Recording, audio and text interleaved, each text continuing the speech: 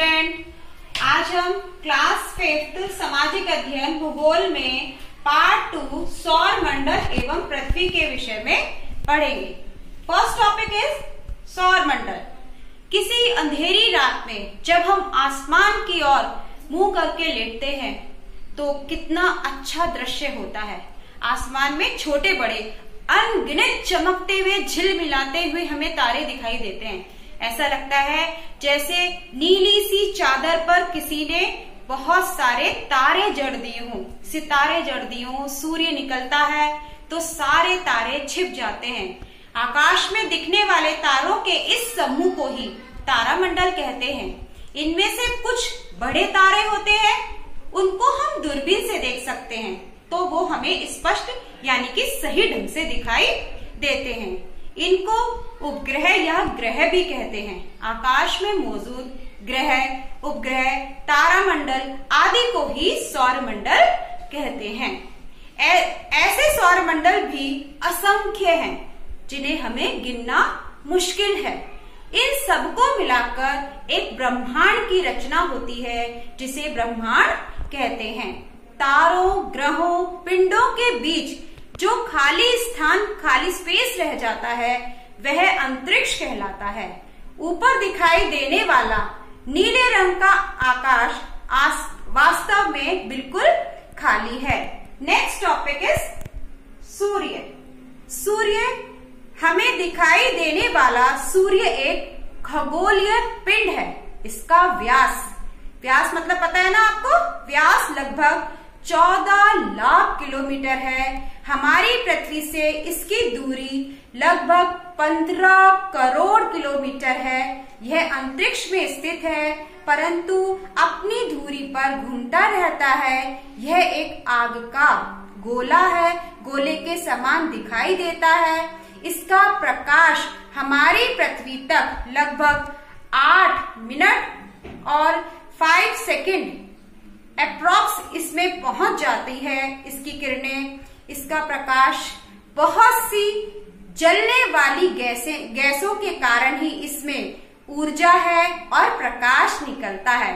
इसी से पृथ्वी पर शक्ति, ऊर्जा, प्रकाश और जीवन विद्यमान है।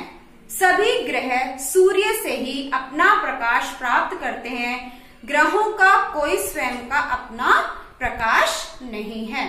नेक्स्ट टॉपिक इज़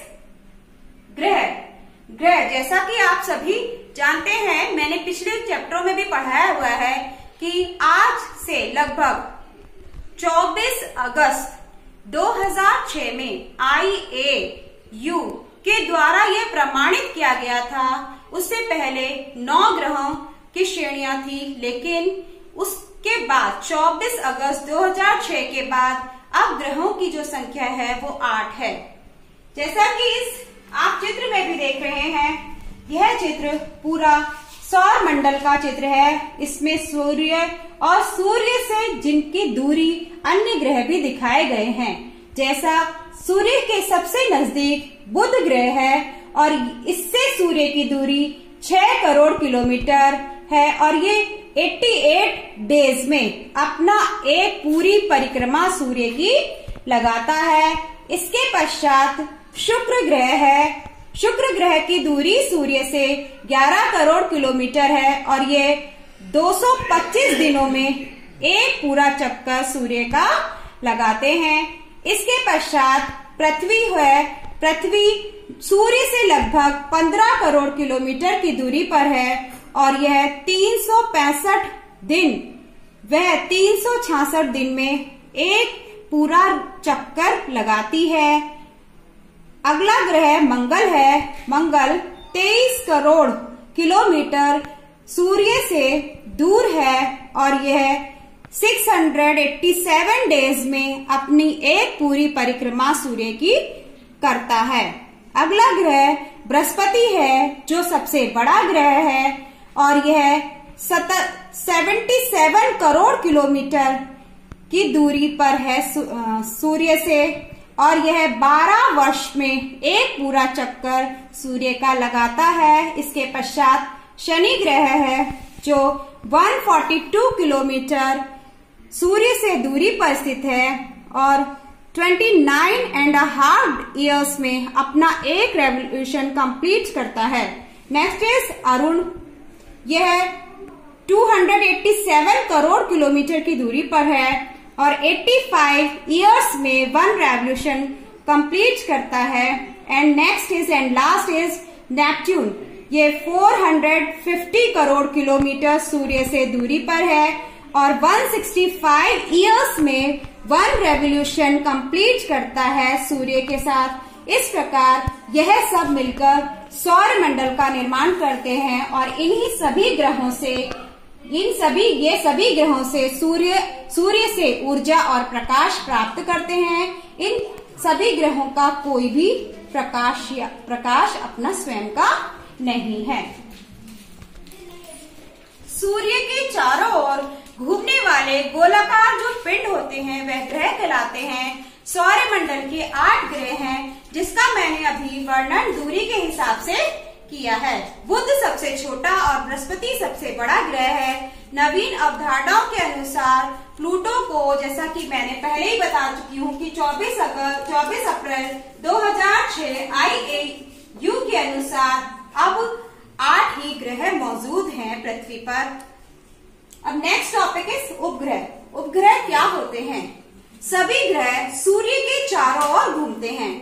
इसी प्रकार इन ग्रहों के अलग अलग उपग्रह भी होते हैं, जो अपने अपने ग्रहों के चारों ओर चक्कर लगाते हैं। हमारी पृथ्वी का एक ही उपग्रह है चंद्रमा। वह हमारी पृथ्वी की परिक्रमा 29 वन एंड हाफ़ डेज़ में एक पूरा चक्कर लगाता है। यही एक मास होता है। चंद्रमा भी सूर्य से ही प्रकाश प्राप्त करता है। वही प्रकाश परावर्तित होकर, आपने देखा होगा कि रात में चांदनी होती है। चांदनी की तरह पृथ्वी पर आता है। पृथ्वी व चंद्रमा की परिक्रमा के कारण ही दिन और रात होते हैं। ऋतुएँ एवं चंद्र ग्रहण और सूर्य ग्रहण भी होते हैं। नेक्स्ट आता है पृथ्वी। हमारी पृथ्वी सूर्य के चारों ओर घूमने वाले ग्रहों में से एक प्रमुख ग्रह है। पृथ्वी। हमारी पृथ्वी सूर्य के चारों ओर घूमने वाली ग्रहों में से प्रमुख एक ग्रह है, इसका परिभ्रमण लगभग तीन सौ पैंसठ दिन या तीन सौ छियासठ दिन में पूरा होता है। सूर्य के चारों ओर घूमने के साथ साथ पृथ्वी लट्टू के समान अपनी दूरी पर ही घूमती है। इसमें उसे 24 घंटे लगते हैं। यहाँ के पर्वत सागर नदियाँ जलवायु जीव जंतु आदि अत्यंत आकर्षित हैं।